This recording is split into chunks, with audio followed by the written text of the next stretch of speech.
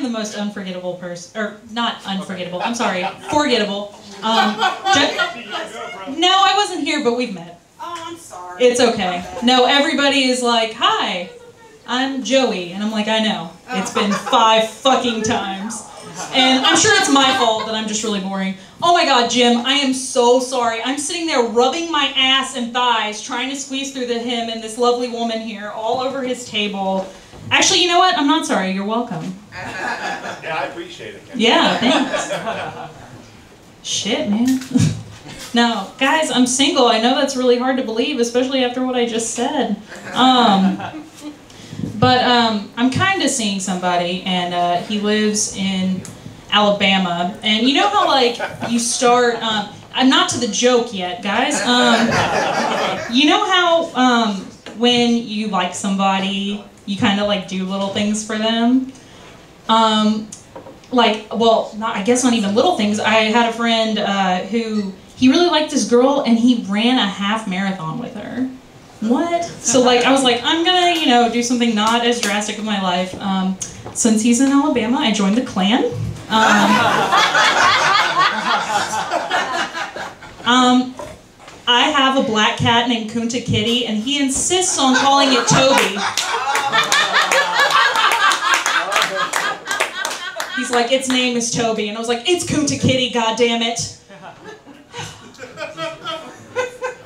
Man, I just lost my train of thought there. All right. No, um, that's part of the reason I don't smoke weed, guys. I lose my train of thought all the time, and I know I've never smoked it in my life.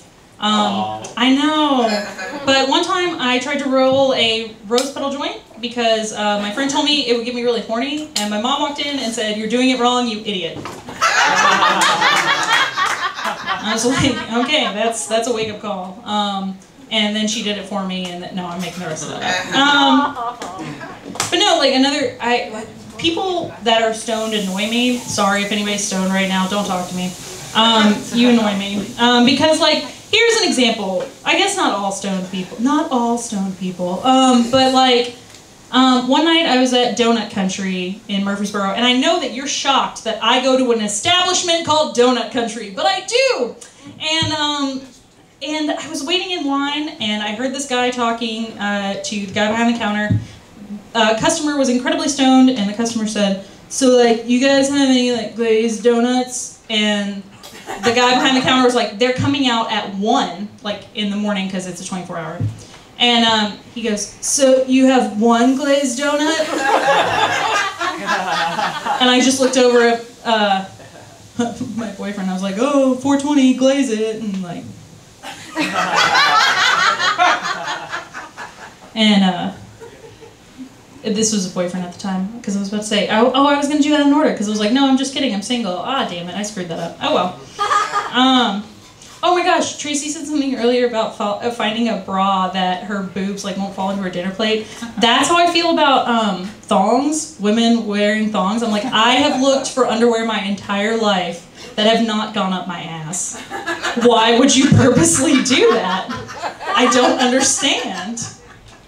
Um, I am have stuff written on my hand like a professional. Oh, I'm looking for a job right now, you guys. Um, actually, I think I have one lined up. Going to be a substitute teacher. But I was getting my nails done the other day, and I um, I love men. You might not know this, but or if you do, that's cool. Whatever. If you paint your nails, I don't care. You live your life. But um, there is an array of colors and the names are always ridiculous. Like the color on my toes right now is "Show us your tips," and I was like, I want to get a job naming nail polishes. How cool would that be?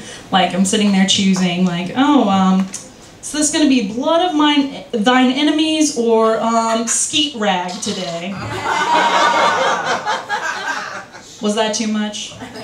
All right, now, okay. All right, I think that's my time, guys.